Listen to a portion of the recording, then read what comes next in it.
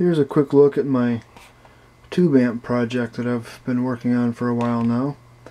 I'm actually totally scratch building a integrated stereo tube amplifier.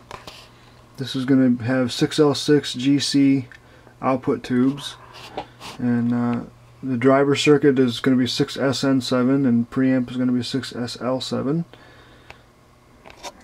Here's going to be my input selector switch, four position rotary. This is my tape monitor switch, uh, LED above it there. Volume, balance, bass, treble. This is my power light. It's actually a 1972 vintage lamp holder from military surplus. Power switch there on the end. In the center here is going to be the toroidal power transformer. It's actually an Antek uh, 3T325 I think is the model. It's going to give me about 425 volts of B plus at lots of current headroom.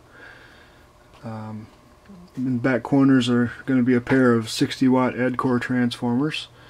I should get about 35 or 40 watts per channel out of this design. Uh, the power amp is actually based on a Harman Kardon HK250 with some upgrades and some minor changes for preamp.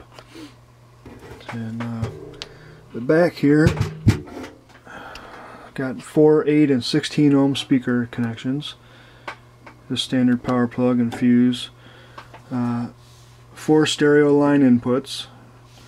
These four are the tape loop and the last two are going to be auxiliary line outputs in case I want to record music into the computer or something.